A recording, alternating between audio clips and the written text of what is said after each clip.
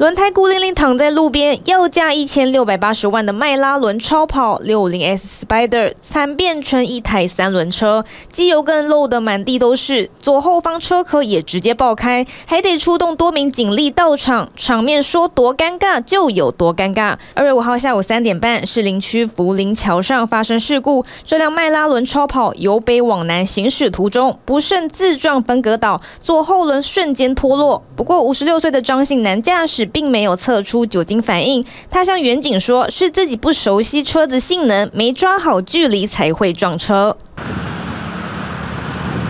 其实这名张姓驾驶已经不是第一次发生自撞意外。亮橘色迈拉伦超跑冲撞山壁后呈九十度直角，前轮开上水泥护栏悬空。两年前有民众开车经过圆山路段，看到这状况拍下影片。这辆一千多万的迈拉伦超跑从台北市区往士林方向行进，当时张姓男子疑似晃神失控，冲撞水泥后车头毁了，事后自己找来拖吊车将爱车送修。其实这辆迈拉伦六五零 S Spider 搭载三点八升 V 八双涡轮增压引擎，足足有六百五十匹马力，时速从零飙到一百只需要三秒钟，最快时速更突破三百公里。不过车子性能再好，也要有技术才能驾驭得了。同样超跑车祸还有这一起。跑车炸街帅不过三秒，其中这台亮橘色迈拉伦就撞得稀巴烂，安全气囊也爆开。日前小年夜晚上接近十点，豪华跑车车队行经屏东方寮，要南下往垦丁，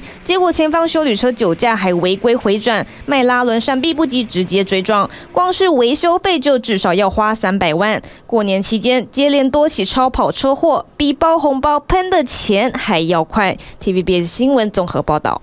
想扩大国际视野，掌握趋势，请订阅专门报道国际新闻的 YouTube 频道 TVBS 国际 Plus，记得要开启小铃铛哦。